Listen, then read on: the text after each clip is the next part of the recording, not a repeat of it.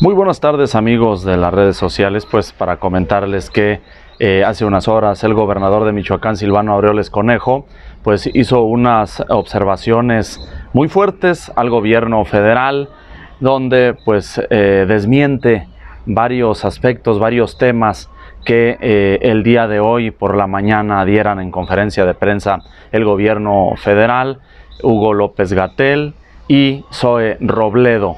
Vamos a escuchar este, este video, esta grabación del gobernador de Michoacán, Silvano Aureoles Conejo, donde pues prácticamente dice que Michoacán está prácticamente descobijado por el gobierno federal. Habla de que le ha mandado el gobierno federal pues eh, gel antibacterial, cubrebocas, pero pues dice por respeto a, los, eh, a los del sector salud, no les voy a entregar nada, le voy a regresar ese material al gobierno federal. Vamos a ver esta, esta, este mensaje que diera el gobernador de Michoacán, Silvano Aureoles, hace un par de horas.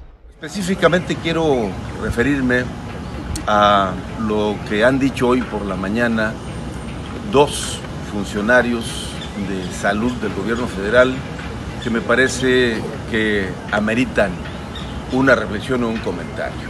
Lo hago con todo el respeto que me merecen, pero es importante que precisemos algunas cosas. Primero, eh, lo hago con mi estimado y querido paisano Sue Robledo, director general del IMSS.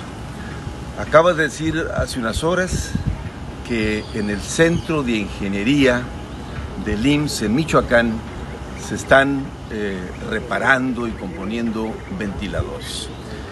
Primero, paisano, con mucho respeto, porque no hay ningún centro de ingeniería del IMSS en Michoacán, más que una área desolada, porque no hay ni siquiera un escritorio o unas sillas.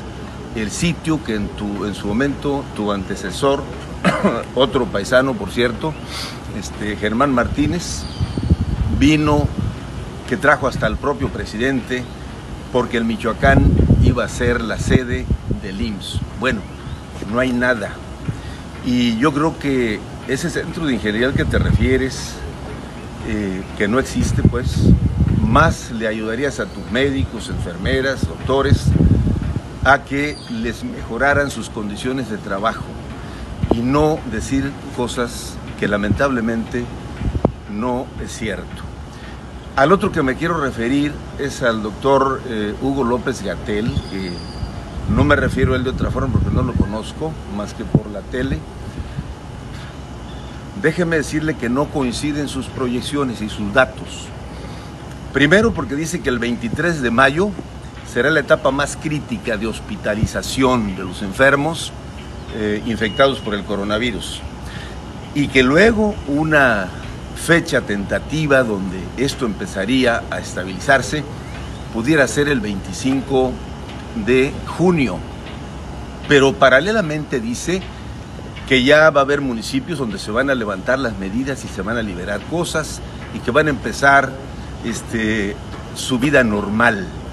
Por favor, señor López Gatel, esas medidas que usted está anunciando, Michoacán no las va a acatar porque vamos a cuidar la salud de nuestra gente.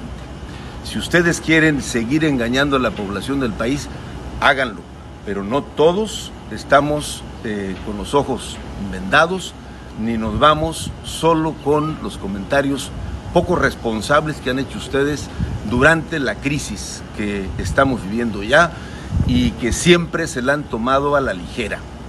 O les gusta mentir a ustedes, no creo, o los obligan a mentir. Pero dejen de mentirle a la sociedad mexicana. En una crisis sanitaria tan compleja, lo último que la sociedad espera de sus gobernantes y de sus expertos como ustedes es que le mientan. Y estoy a sus órdenes para lo que dispongan. Ah, por cierto, les aviso que les voy a regresar el material que enviaron, porque para una condición tan crítica me mandan 2.000 tapabocas, 96 botellas de alcohol. Eso no me dura ni un día, señores de salud.